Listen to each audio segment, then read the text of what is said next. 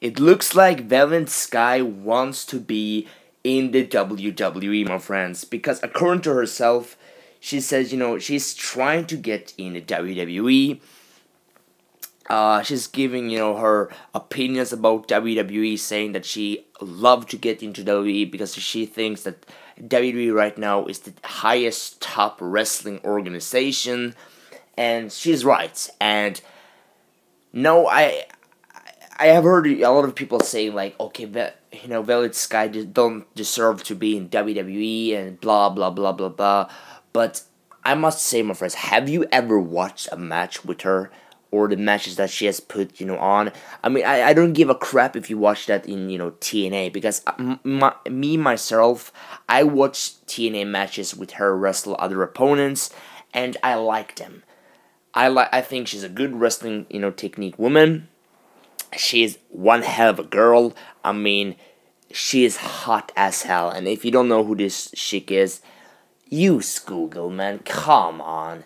And I personally, I really want her to be in WWE. I think that she can have a good impact on the roster if she goes to uh, if she you know gets a contract there. Because every, there's like some divas that I actually want TNA to let you know go so WWE can pick them up and make them a star because even though you know she had a good career in TNA, I think that if she goes to WWE, she might have a bigger and bigger and better career in the future. But anyway, guys, that's all for me.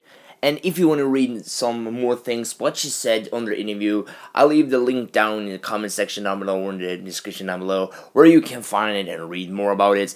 I'm not going to talk more about this because she actually talked a lot of things and I don't want to, you know, just sit here on my phone and read all the, you know, the stuff because that would be kind of pointless and I, I don't feel like you guys want me to say all these things. So I'll leave it in the comment section and in the um, comment section down below and in the description down below so you can find it and read it for yourself. But yeah guys, that's all for me. Stay tuned to my channel, more views will come. More views, more videos will come. Sorry guys, I failed there. More videos will come. Stay tuned. Have a good um I don't know what I'm gonna say here, but anyway, guys, have a nice day, and I'll see you next video. Peace, guys.